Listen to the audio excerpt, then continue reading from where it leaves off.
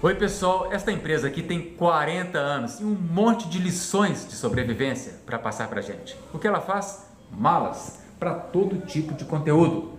No Pequenas Empresas, Grandes Negócios. Domingo de manhã pela TV Globo e no site g1.com.br/pegni.